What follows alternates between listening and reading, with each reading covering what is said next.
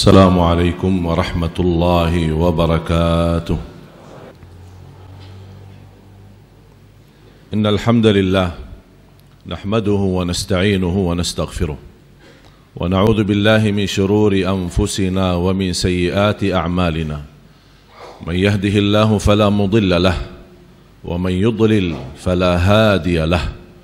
أشهد أن لا إله إلا الله وحده لا شريك له وأشهد أن محمدا عبده ورسوله. اللهم صل وسلم وبارك على سيدنا ومولانا محمد وعلى آله وصحبه ومن تبعهم بإحسان إلى يوم الدين.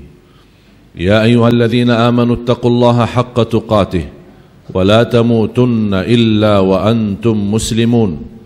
يا أيها الناس اتقوا ربكم الذي خلقكم من نفس واحدة وخلق منها زوجها وبث منهما رجالا كثيرا ونساء واتقوا الله الذي تساءلون به والأرحام إن الله كان عليكم رقيبا.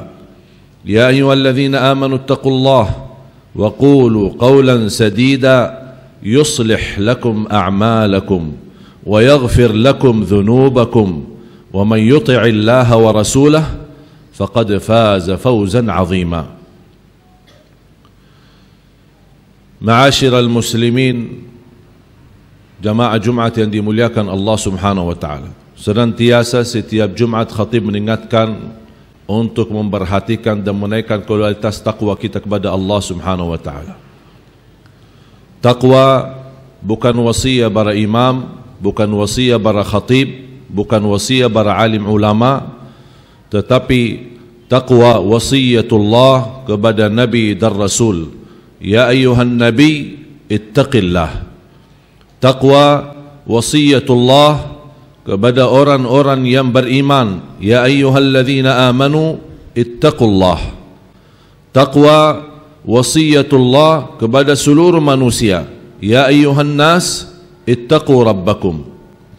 Taqwa wasiyatullah kepada umat Nabi Muhammad sallallahu alaihi wa alihi wasallam dan ummah-ummah yang terdahulu walaqad wassayna alladhina utul kitaba min qablikum wa iyyakum an ittaqullah kunci diterima amal ibadah kita di sisi Allah taqwa innama yataqabbalu Allah minal muttaqin jalan keluar dari segala kesusahan taqwa wa man yattaqillah yaj'al lahu makhraja menjaminkan kedatangan rizki yang berkah wa yarzuqhu min haitsu la yahtasib. Jaminan kemudahan dalam segala urusan taqwa wa may yattaqillah yaj'al lahu min amrihi yusra. Jaminan keselamatan dari siksa neraka jahannam taqwa. Thumma nunajji alladhina ittaqaw wa nadharu adh-dhalimin fiha jithiya Rasulullah sallallahu alaihi wa alihi wasallam bersabda di hadis yang sahih Ittaqillah haitsu ma kunt dimanapun berada jagalah takwa kepada Allah Subhanahu wa taala. Inti daripada takwa mengikuti perintah Allah menjauh dari larangan Allah Subhanahu wa taala. Fattaqullaha mastata'tum bertakwalah kepada Allah sesuai kemampuannya. Ma'asyiral muslimin yang dimuliakan Allah Subhanahu wa taala. Tidak diragukan kalau bertanya apakah cinta Nabi Muhammad? Pasti jawaban kita ya. Tidak ada orang mukmin yang tidak mencintai Nabi Muhammad sallallahu alaihi wasallam. Tapi yang perlu kita cari jawabannya dan mencari tahu apakah Nabi Muhammad mencintai kita. Qul in kuntum tuhibbuna Allah fattabi'uni yuhibbukumullah. Jangankan kita dicintai Nabi Muhammad. Cintaan kita kepada Nabi Muhammad dan mengikuti ajaran Nabi Muhammad menghidupkan sunnah Nabi Muhammad sallallahu alaihi wa alihi wasallam mendapatkan jaminan dicintai Nabi Muhammad dan dicintai oleh Allah Subhanahu wa taala. Abdullah bin Mas'ud radhiyallahu an ketika bertemu sama seorang tabi'in bernama Al-Imam Ar-Rabi' ibn Khuthayyim rahimahullah Beliau berkata kepada Imam Tabi'in, Imam Rabi' wahai Rabi' wallahi law ra'aka Rasulullah sallallahu alaihi wa alihi wasallam la ahabbak demi Allah kalau Rasulullah sallallahu alaihi wasallam bertemumu pasti akan dia cinta kepadamu Imam Rabi' menangis apa yang membuat Abdullah bin Mas'ud sambil berani berkata bahkan bersumpah kalau Rasul bertemu denganmu pasti akan cinta kepadamu. Bagaimana kita bisa mendapatkan dicintai oleh Nabi Muhammad sallallahu alaihi wasallam? Di antara amalan selain kita mengikuti ajaran Nabi Muhammad sallallahu alaihi wasallam dan kita mengikuti ajarannya dan sunnahnya bukan karena dia berintah, bukan karena menginginkan mendapatkan pahala, tapi kita ingin meniru Nabi Muhammad sallallahu alaihi wasallam. Kita berpakaian mendahulukan tangan yang kanan saat berbaju, berpakaian. Kenapa kita melakukan ini? Bukan karena tangan kanan sesuatu yang baik, bukan karena diperintahkan, tapi saya ingin meniru Nabi Muhammad sallallahu alaihi wasallam. Ketika saya mandi dan saya siram air di sebelah kanan dulu baru ke sebelah kiri, kenapa saya lakukan ini? Bukan karena sesuatu yang kanan itu baik, tetapi karena ingin meniru Nabi Muhammad sallallahu alaihi wasallam. Masuk masjid mendahulukan kaki yang kanan daripada yang kiri bukan karena itu sesuatu yang baik bukan karena itu sesuatu yang sunnah, bukan karena itu sesuatu yang dianjurkan atau diajarkan, tetapi saya lakukan ini karena ingin meniru Nabi Muhammad sallallahu alaihi wasallam. Jadi di mana pun kita berada selalu menghadirkan Nabi Muhammad dalam kehidupan kita. Makan, minum, tidur, berpakaian, saat kita mandi, saat kita wudu, saat masuk masjid, keluar masjid, di mana pun kita berada, Nabi Muhammad sallallahu alaihi wasallam ada bersama kita. Itulah yang membuat kita pasti mendapatkan dicintai Nabi Muhammad. Apalagi bersalawat kepada Rasulullah sallallahu alaihi wasallam. Jangan kita bersalawat karena itu sesuatu amalan kebaikan atau karena kita ingin mendapatkan balasan atau kita ingin mendapatkan atau sesuatu ini sangat dianjurkan untuk bersalawat apalagi di hari Jumat saya menjaga bersalawat karena itu permintaan Nabi Muhammad sallallahu alaihi wasallam min as-salati yawm al-jum'ah wa laylataha fa inna salatakum tablughuni haitsu kuntum di mana pun kita berada Allah akan antarkan salawat kita kepada Nabi Muhammad sallallahu alaihi wasallam sampai ada sahabat Rasulullah sallallahu ya Rasulullah bagaimana salawat bisa sampai kepadamu wa qad arimta arimta artinya tanah sudah memakan jasadmu kata Rasulullah sallallahu inna Allah harrama 'ala al-ard an ta'kula ajsad al-anbiya Allah mengharamkan tanah dan bumi memakan jasadnya para nabi dan rasul berarti salawat kita sampai. Cuba perasaan kita seperti apa ketika kita mensalam atau bersalawat kepada Rasul dan Rasulullah SAW mendengar salawat kita dan menjawab salawat kita sallallahu alaihi wasallam. Inna min afdali ayyamikum yawmal jumu'ah fa'akthiru alayya min as-salati fihi. Sebaik-baik hari adalah hari Jumat Sebanyak-banyaknya bersalawat kepadaku. Kita malu sama Allah subhanahu wa ta'ala. Bahkan malu kepada Nabi Muhammad sallallahu alaihi wasallam Ketika kita dilihat dalam buku amal. Amalan yang paling sedikit di hari Jumat Adalah bersalawat kepada Rasul. Sedangkan Rasulullah meminta Sebanyak-banyaknya bersalawat kepadaku. Malu kita menjadi qalilul bida'ah Memiliki perdagangan yang sangat sedikit Menhadiahkan kepada Rasulullah sallallahu alaihi wasallam oleh karena itu jamaah sekalian, jangan disia-siakan. Dianjurkan saya mendengar seorang ulama di Masjid Nabawi, Al-Syekh Muhammad ibn Muhammad Al-Mukhtar Al-Shanqiti. Beliau sangat dikenal ahli zikir. Ketika ada seorang bertanya, mana yang lebih utama di hari Jumat dan malam Jumat? Apakah boleh saya banyak baca Quran atau banyak salawat kepada Rasul. Beliau menjawab di Masjid Nabawi, lebih baik dianjurkan untuk lebih banyak bersalawat kepada Rasul daripada banyak baca Al-Quran. Kenapa? Karena itu permintaan Nabi Muhammad sallallahu alaihi wasallam.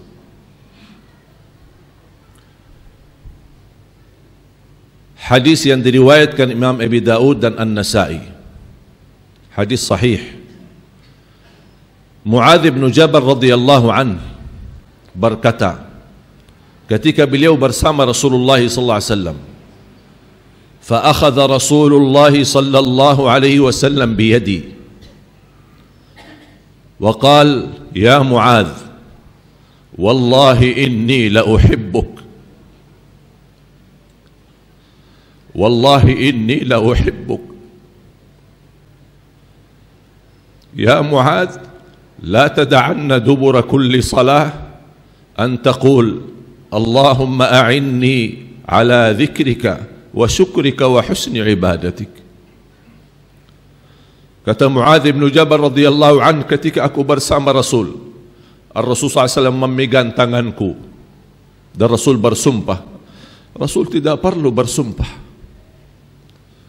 طب جبع كيرا كيرا ابا برسان معاذ بن جبل رضي الله عنه sampai Rasul bersumpah demi Allah wahai Muadz aku cinta kepadamu Gimana kira-kira hatinya Mu'ad ketika mendengar Rasulullah berkata itu? Wallahi inni la uhibbu. Kapan kita bisa berkesempatan Rasulullah mengucapkan kepada kita saya mencintai kalian. Salli ala sayyidina Muhammad wa ala ali sayyidina Muhammad.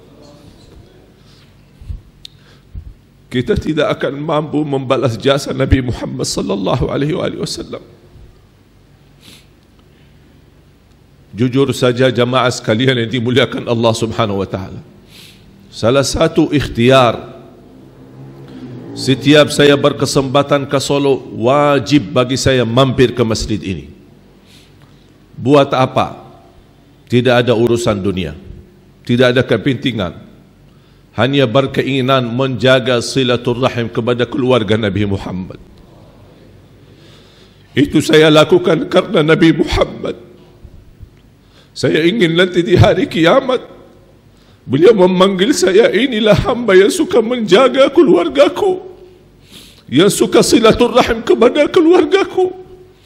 Itulah hadiah yang kita mampu memberikan kepada Rasulullah mencintai keluarga Nabi Muhammad sallallahu alaihi wasallam. Wallahi bakal dicintai oleh Nabi Muhammad sallallahu alaihi wasallam.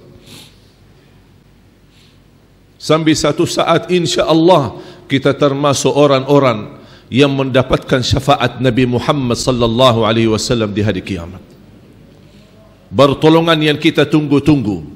Jangan kita umat Nabi Muhammad seluruh manusia saat menghadap Allah saat hisab menunggu bagaimana segera dihisab oleh Allah karena mereka merasa sudah capek, sudah begal dan sudah lelah menunggu berdiri dalam keadaan tidak berpakaian 50 ribu tahun. Dan semua para nabi dan rasul nafsi nafsi kami tidak bisa apa-apa Sambil para Nabi dan Rasul sepakati untuk menunjukkan kepada Rasul yang bisa bantu kalian itulah orangnya. Muhammad sallallahu alaihi wasallam. Seluruh manusia datang menghadap Rasulullah bagaimana supaya dia berdoa dan meminta bantuan dari Allah Subhanahu wa taala agar segera dimulai hisab. Rasulullah SAW ana laha ana laha. Itulah yang diberikan oleh Allah kepadaku sesuatu sesuatu kemuliaan. Beliau sujud di hadapan Allah dan kata Rasulullah SAW Allah akan gerakkan lidahku mengucapkan pujian-pujian yang tidak pernah diucapkan oleh makhluk pun sebelum aku kata Rasulullah SAW sambil Allah berkata Ya Muhammad irfa' ra'sak wasal tu'ta washfa' tushaffa angkatlah kepalamu. Pujianmu itu indah. Tidak pernah diucapkan oleh malaikat tidak pernah diucapkan oleh siapapun hanya Nabi Muhammad sallallahu alaihi wasallam. Angkatlah kepalamu. Apa yang anda minta saya ijabah. Bagilah syafaatmu untuk seluruh manusia. Saya kabulkan syafaatmu. Sallallahu alaihi wasallam Mudah-mudahan kita meraih syafaat Nabi Muhammad sallallahu alaihi wasallam. Sesuatu anugerah kita di negeri kita Indonesia masih tersisa cukup banyak keluarga Nabi Muhammad sallallahu alaihi wasallam. Dekatilah mereka, cintailah mereka. Salah satu amalan kebaikan Inni atawassalu ila Allah bimahabbati wattaqarrubi ila Allah bimahabbati ahli baiti Rasulullah sallallahu alaihi wasallam. Saya mendekatkan diriku kepada Allah melalui percintaanku kepada keluarga Nabi Muhammad sallallahu alaihi wasallam. Saya tidak tahu kira-kira mana amalan yang bisa membawa saya selamat nanti di akhirat. Dan saya yakin mendekati keluarga Rasul dan mendapatkan doa dari mereka insya Allah kita bisa nanti di hari kiamat bersama Nabi Muhammad sallallahu alaihi wasallam. Ma'asyiral muslimin yang dimuliakan Allah Subhanahu wa taala. Khususnya di hari Jumat jangan sia-siakan kesempatan. Sebenarnya mulai habis maghrib hari Kamis sampai azan maghrib hari Jumat sepanjang waktu itu isi dengan sebanyak-banyaknya bersalawat. Jangan henti-hentinya. Gerakkan lidahmu setiap waktu setiap saat dimanapun kita berada. Terus menerus.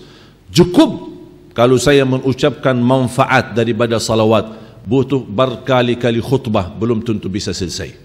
Tapi saya singkatkan saja apa yang dibersabdakan oleh Rasulullah SAW idan taf'al wa yuqda dainuk wa yughfaru dhanbuk kalau kamu melakukan itu bersalawat kepadaku sebanyak-banyaknya di hari Jumat akan Allah angkat segala kesusahanmu akan Allah lunasi hutanmu dan Allah ampuni dosa-dosamu.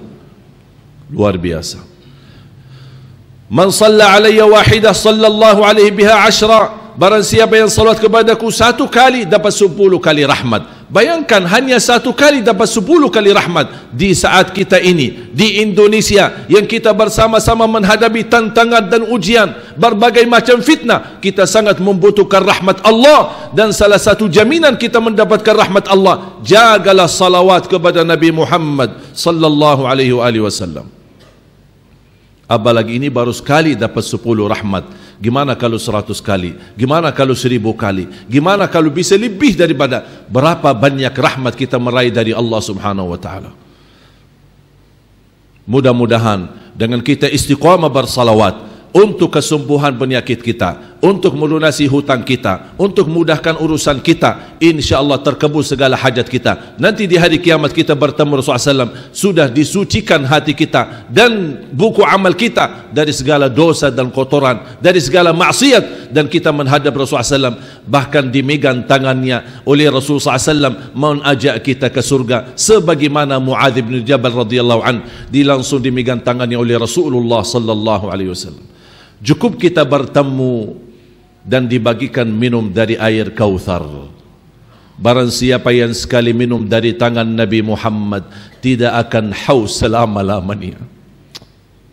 Minum apa itu sampai tidak haus selama-lamanya? Bukan karena kelebihan airnya, tapi kelebihan tangan Nabi Muhammad yang menhadiahkan kepada umatnya sallallahu alaihi wasallam. Mudah-mudahan kita termasuk orang yang mencintai Nabi Muhammad yang mengamalkan ajaran Nabi Muhammad yang menghidupkan sehari-hari Nabi Muhammad dimanapun kita berada selalu membawa ajaran Nabi Muhammad dan kita menunjukkan akhlak Nabi Muhammad sallallahu alaihi wasallam. Sebagaimana kata Siti Aisyah radhiyallahu anha kana khuluquhul Quran. Kana sallallahu alaihi wasallam akhlakni akhlakul Quran Mudah-mudahan kita semua menjadi ahlul Quran di dunia dan di akhirat. Amin ya rabbal alamin. Barakallahu li wa lakum fil Qur'anil azim wa nafa'ni wa iyyakum bima fihi min al-ayati wa dhikril hakim. Aqulu qawli hadha wa astaghfirullah li wa lakum wa li sa'iril muslimina wal muslimat min kulli dhanb fastaghfiruh innahu huwal ghafurur rahim. اللهم صل وسلم وزد ودم وانعم وتفضل وبارك بجلالك وكمالك على زين عبادك وأشرف عبادك سيدنا ومولانا محمد وعلى آله وصحبه وسلم. ورضي الله تبارك وتعالى عن كل الصحابة أجمعين.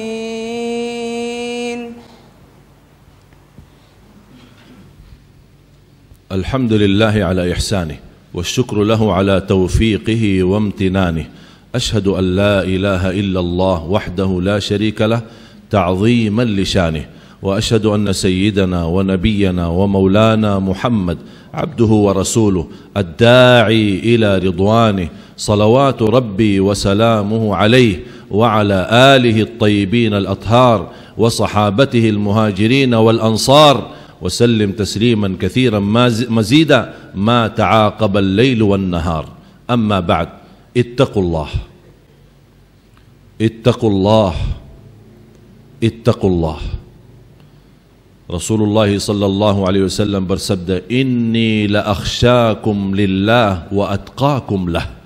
أكو ينبال تاكد كبدا الله دنبال برتقوى كبدا الله سبحانه وتعالى إتو كتر رسول الله صلى الله عليه وسلم أيو كتماري منيرو bagaimana kita bisa menjalani perdekatan kita kepada Rasulullah SAW.